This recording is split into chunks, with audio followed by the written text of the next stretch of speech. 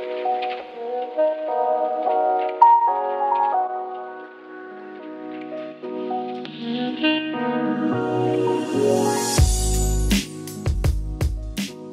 Desde sus orígenes con la primera consola doméstica de Sony, PlayStation ha sido la cuna de multitud de sagas que han cambiado el paradigma de la industria y que han fascinado a millones de jugadores alrededor del mundo. Hablamos de sagas aplaudidas por la crítica y los usuarios como God of War, Uncharted, Jack and Daxter, Gran Turismo y muchas otras más. En Vandal nos hemos querido tirar a la piscina y ordenar, de entre todas las franquicias icónicas de PlayStation, las 15 que nos parecen las mejores, incluyendo desde aquellas que gozan de un buen estado de salud y ritmo de lanzamientos en la actualidad, hasta las que siguen en el cajón del olvido desde hace varias generaciones de consolas.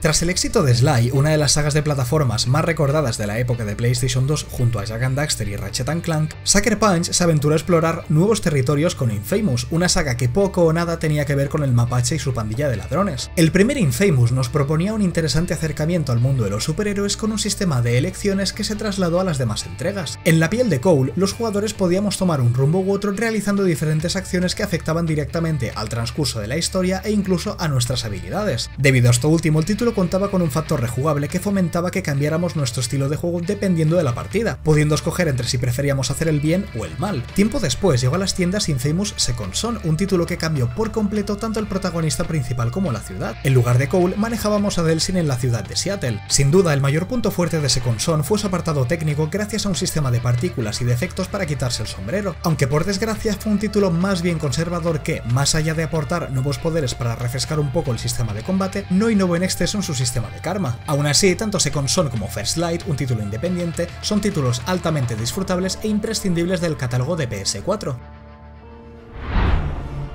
Killzone fue señalado en su momento por un medio como el Halo Killer de PlayStation, una etiqueta que, si bien no es la más acertada teniendo en cuenta que ambas sagas tienen sus propias virtudes y elementos característicos, dejaba claras las esperanzas puestas sobre esta nueva franquicia que vendría a ser el equivalente para PlayStation del buque insignia de Xbox. La primera entrega desarrollada por Guerrilla vendría a ser más bien como una pequeña introducción a este universo centrado en el enfrentamiento entre la ISA y los Helgast, una raza de humanos con una mayor fuerza e intelecto. El título gozó de un buen recibimiento por parte de los jugadores de PS2, aunque no fue hasta el lanzamiento de Killzone 2 para PS3 que las cosas se pusieron realmente interesantes y la saga alcanzó su mayor popularidad. Curiosamente, Killzone 2 también fue señalado en su momento, aunque no por nada relacionado con la saga de Bungie. En el E3 de 2005, PlayStation presentó un primer vistazo cinemático del título que dejó con la boca abierta a todo el mundo. Las animaciones de los soldados, así como los efectos de humo y las partículas, lucían sorprendentemente bien. Como bien recordaréis, el producto final no consiguió alcanzar el mismo nivel técnico, aunque aún así se colocó entre los títulos gráficamente más potentes de PS3 y nos dejó para el recuerdo algunas estampas imponentes que recordaban inevitablemente a la Alemania nazi, algo reconocido por sus propios creadores. Años más tarde se lanzó Killzone 3, un juego algo más conservador, aunque seguía siendo tremendamente divertido gracias al modo campaña cooperativo pantalla dividida. Por su parte, Killzone Shadowfall sirvió como carta de presentación del poderío técnico de PS4, aunque tuvo un recibimiento algo mixto por parte de los fans debido a su radical cambio de ambientación, con unos escenarios coloridos y repletos de vida que contrastaban fuertemente con las localizaciones lúgubres y sucias de anteriores entregas. No nos olvidamos de Killzone Liberation y Killzone Mercenary, las dos entregas portátiles lanzadas para PSP y PS Vita respectivamente, que supieron replicar a las mil maravillas las sensaciones de sus hermanos mayores.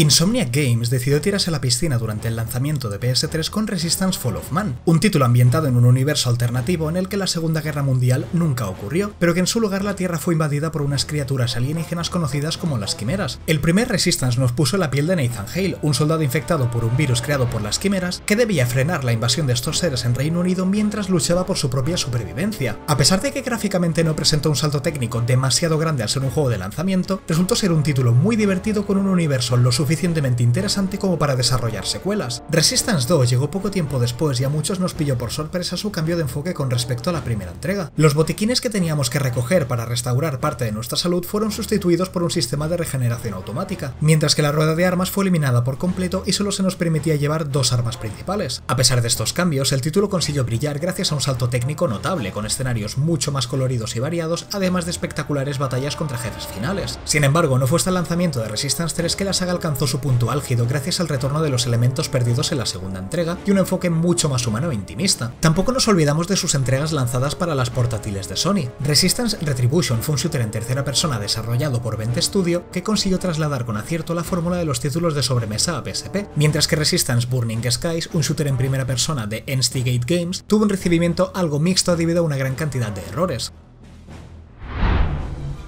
Keiichiro Toyama, creador de Silent Hill, acertó de lleno con este llamativo lanzamiento para PS Vita que posteriormente fue remasterizado para PlayStation 4. Gravity Rush es un título que, ante todo, derrocha carisma gracias a Kat, su protagonista, y aporta mecánicas basadas en la gravedad de lo más originales y nunca antes vistas en otro videojuego. La protagonista tiene unos poderes que le permiten desafiar la ley de la gravedad para lanzarse en picado sobre objetivos y combatir en el aire mediante diferentes habilidades. Sus controles son algo difíciles de dominar en un principio, aunque enseguida nos hacemos a ellos y manejar a Kat es una verdad gozada. El título, que posee una estética anime que luce realmente bien en el panel OLED de la primera PS Vita, nos invita a investigar varias ciudades haciendo uso de los poderes de la gravedad para resolver misterios, cumplir encargos, completar misiones principales y derrotar a unas extrañas criaturas que amenazan la paz. Poco después del lanzamiento de Gravity Rush Remastered, Gravity Rush 2 se puso a la venta en exclusiva para PS4. A pesar de que no fue especialmente innovador y tropezó en algunos aspectos criticables del primero, como una cámara algo caótica en ocasiones o un abuso de escenas contadas a través de viñetas, continuó la historia del primer título de manera muy satisfactoria y nos ofreció un apartado artístico precioso gracias a la potencia de la consola de sobremesa. ¿Tendremos un Gravity Rush 3? Toyama comentó recientemente que, por su parte, estaría encantado de cerrar la saga con una tercera entrega, además de llevar ambos títulos a PC para que más jugadores puedan descubrirlos.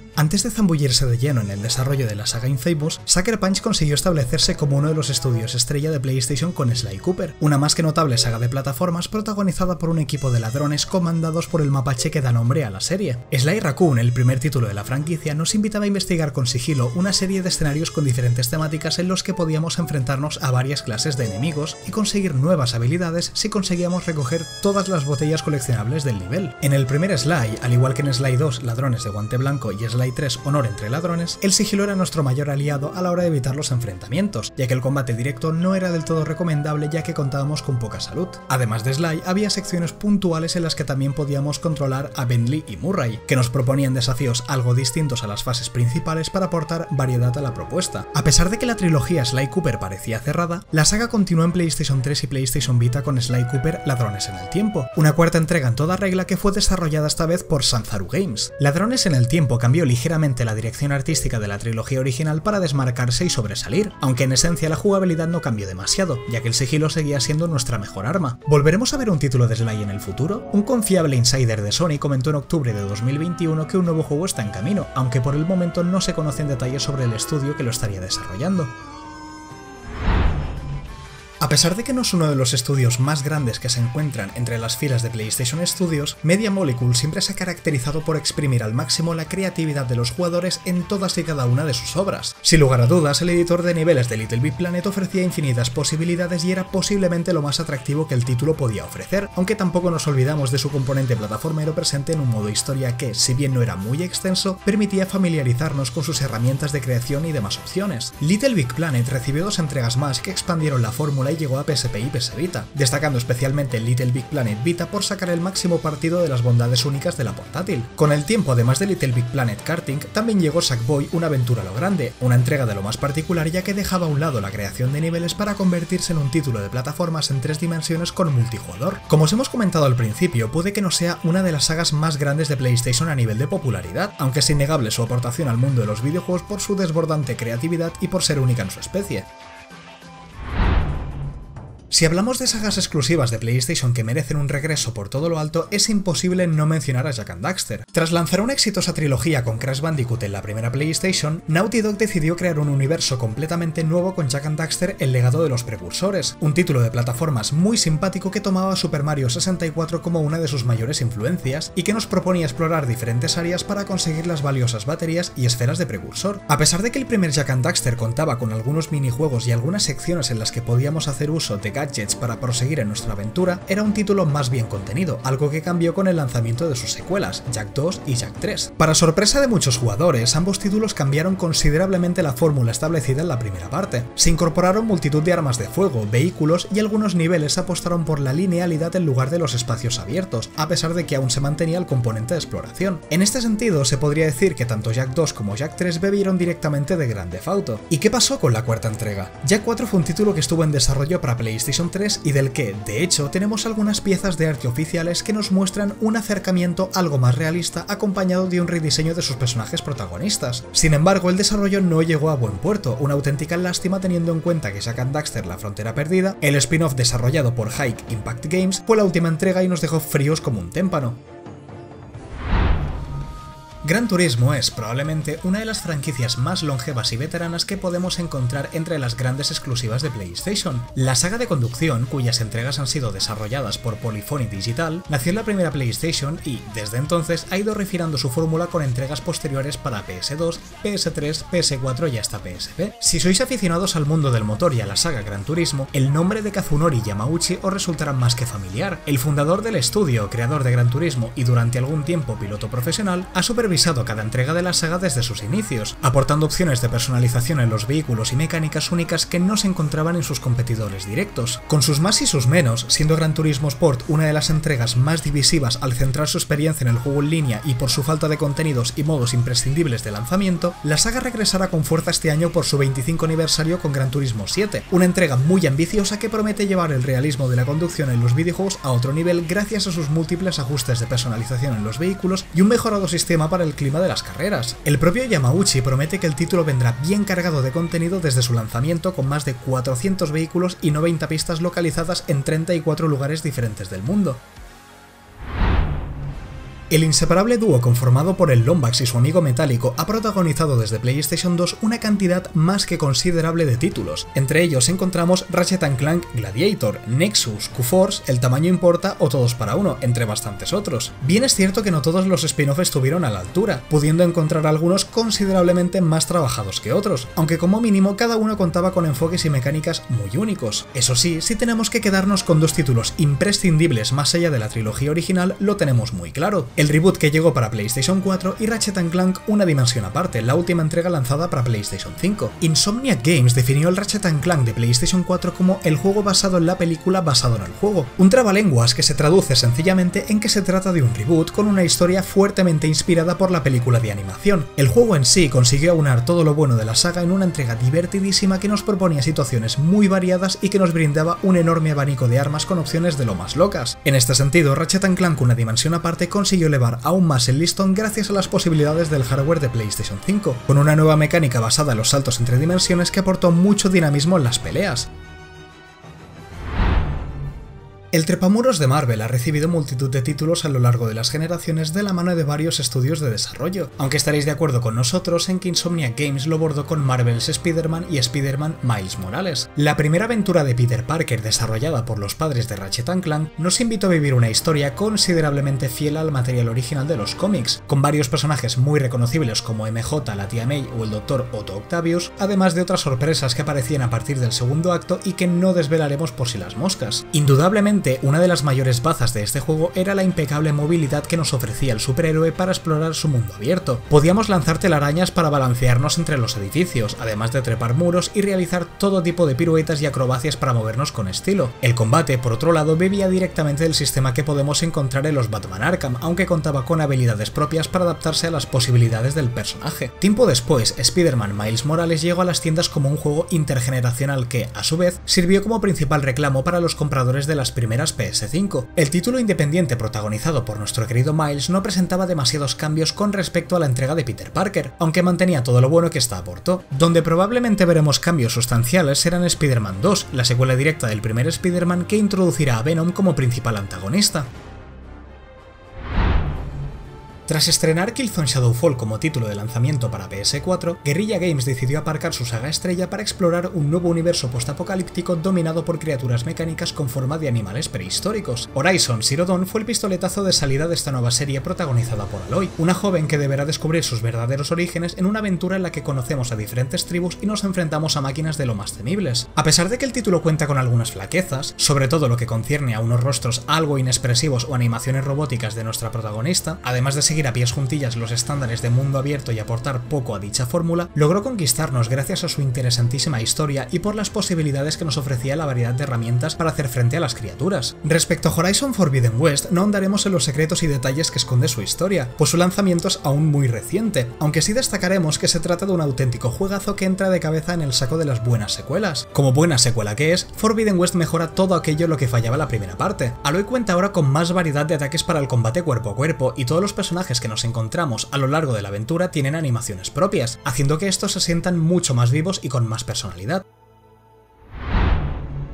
Puede que las obras dirigidas por Fumito Ueda no sean del gusto de todos los jugadores y que gocen de una popularidad menor que otras sagas de PlayStation, aunque es irreprochable el mimo y el cariño que deposita el equipo del creativo japonés en cada uno de sus proyectos. A pesar de sus diferencias, Ico, Shadow of the Colossus y The Last Guardian comparten varios puntos en común. Estéticamente son muy parecidos y sus historias nos proponen vivir aventuras con un toque muy minimalista y con un estilo muy marcado por parte de Ueda. Ico destacó en PS2 como una rareza dentro del catálogo de exclusivos gracias a una aventura de plataformas y que llamó poderosamente la atención de quienes le dieron una oportunidad por su gran personalidad y por la interesante mecánica de cuidar de la princesa Yorda. Tiempo después llegó para la misma consola Shadow of the Colossus, un título que exprimió el hardware del sistema de Sony hasta las últimas consecuencias al presentar unas criaturas de tamaño titánico contra las que nos teníamos que enfrentar. Además de por el potente desenlace de su historia, Shadow of the Colossus fue considerado en su momento como una obra maestra temporal por la sorprendente inteligencia artificial que presentaba cada uno de sus colosos, algo que se complementó a la perfección con la sabia decisión de hacer que cada enfrentamiento fuese único y que obligase al jugador a observar detenidamente los movimientos y el comportamiento de su contrincante para detectar su punto débil. Por último, llegamos a The Last Guardian, un título que debía lanzarse para PlayStation 3 aunque sufrió multitud de retrasos y finalmente acabó formando parte del catálogo de PS4. A pesar de que cuenta con detalles espectaculares como las animaciones de Trico, a nivel técnico no está a la altura de otros exclusivos de la consola, además de otros detalles menores y fallos que evidencian que sufrió un complicado desarrollo. Aun con todo, el título consigue brillar gracias al vínculo que establecemos con Trico, una criatura fantástica con la que vivimos un emotivo viaje de huida que, sin exagerar, cuenta con una de las inteligencias artificiales más desarrolladas que hemos visto nunca en un videojuego.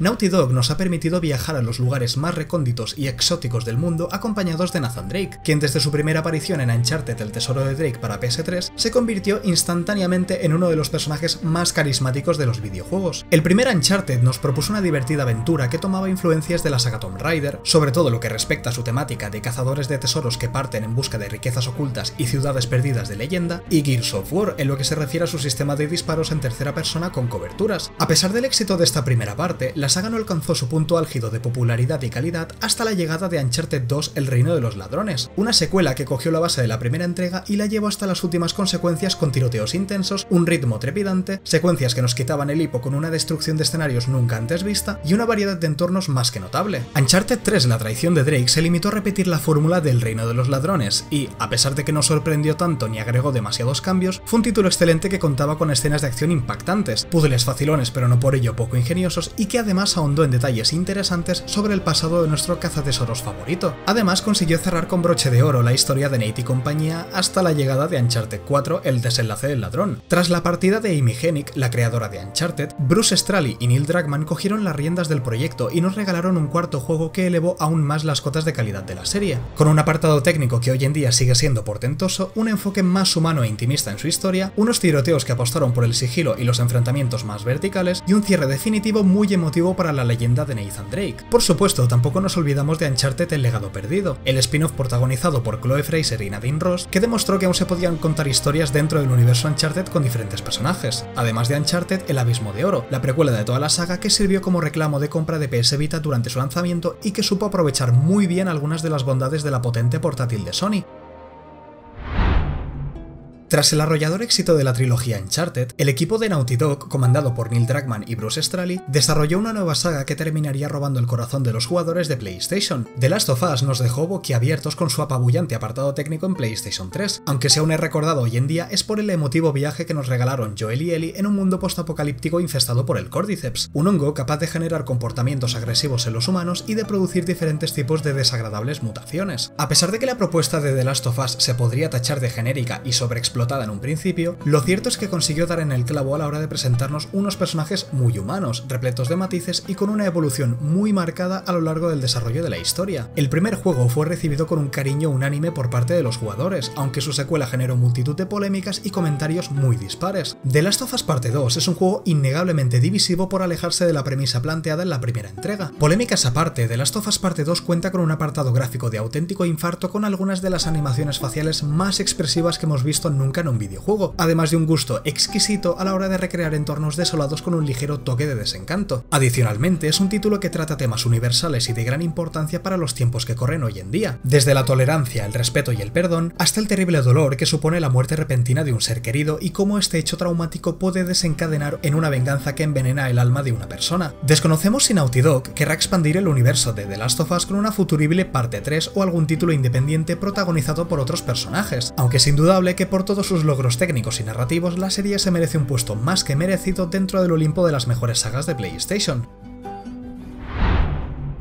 La saga God of War tuvo sus inicios en PlayStation 2 de la mano de Santa Mónica Studios, y desde su primera parte estableció las bases jugables y el tono que seguiría en sus próximas entregas. La trilogía God of War y los spin-off ambientados en la mitología griega siguen un patrón muy claro. Son hack and slash tremendamente violentos en los que podemos hacer trizas a todos los enemigos que se nos pongan por delante, gracias a diferentes combos que podemos ejecutar con nuestras espadas del caos y varias armas secundarias. Además, cabe destacar que fue esta misma saga la que popularizó el uso de los Quick Time Event. Tanto el primer God of War como God of War 2, God of War 3 y God of War Ascension, sin olvidarnos de God of War Chains of Olympus y God of War Ghost of Sparta para PSP, fueron auténticos portentos técnicos en sus respectivas consolas y nos permitieron disfrutar de colosales y sangrientos enfrentamientos con algunos de los jefes finales más grandes que hemos visto nunca en un videojuego. Sin embargo, la fórmula parecía algo agotada y el equipo comandado por Cory Barlock decidió sentarse a la mesa de diseño para trazar el camino que seguiría la saga. Como bien sabréis, el resultado fue el God of War que llegó en 2018 para PlayStation 4 y que recientemente ha sido porteado a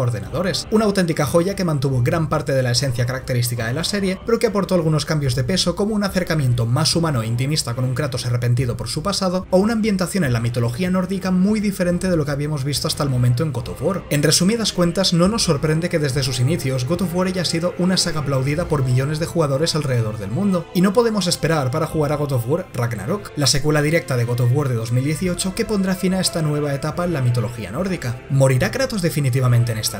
¿Pasará a ser Atreus, su hijo, el protagonista de la saga? Si no se producen cambios de último momento, deberíamos salir de dudas este mismo 2022.